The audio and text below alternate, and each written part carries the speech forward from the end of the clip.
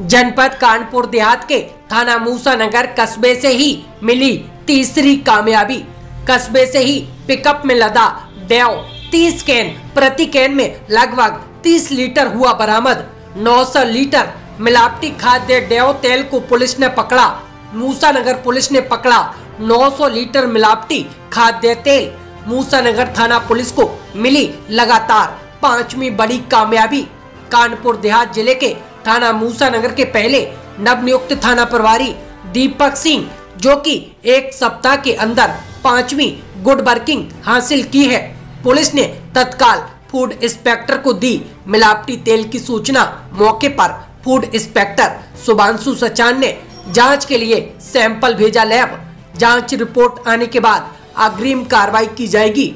आपको बता दें, मामला जनपद कानपुर देहात के मूसा नगर का है। जहाँ पर थाना मूसा नगर पुलिस द्वारा पिकअप को सीज कर दिया गया है। मेरा नाम सुमांशु शान है खाद्य सुरक्षा अधिकारी पद पर कार्यरत हूँ।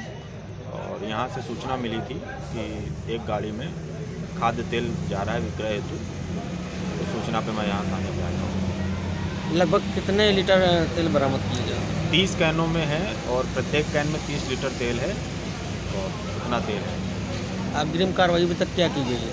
इनका सैंपल लेके, सैंपल जाँच के लिए भेजा जा रहा है। जाँच रिपोर्ट प्राप्त होने के उपरांत इन पर विधिक कार्रवाई की जाएगी।